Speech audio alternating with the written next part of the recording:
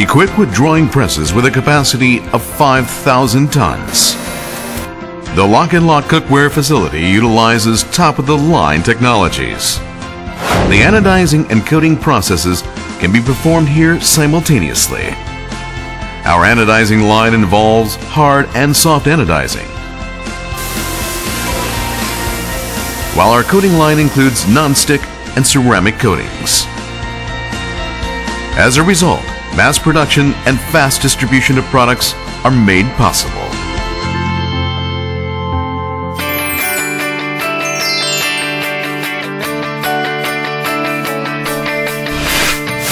Starting with drawing,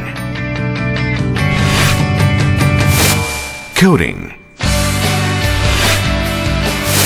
polishing, hard anodizing,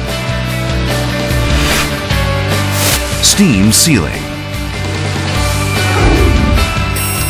marking, assembly, and inspection. All Lock and Lock cookware is made through rigorous methods. Lock and Lock uses an eco-friendly process called hard anodizing.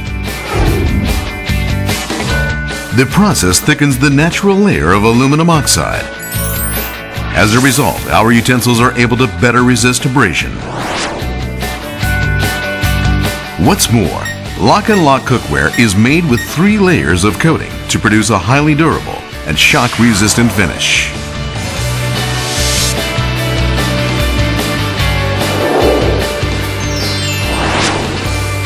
Only pure aluminum is used for Lock Lock cookware, making our utensils light and easy to handle.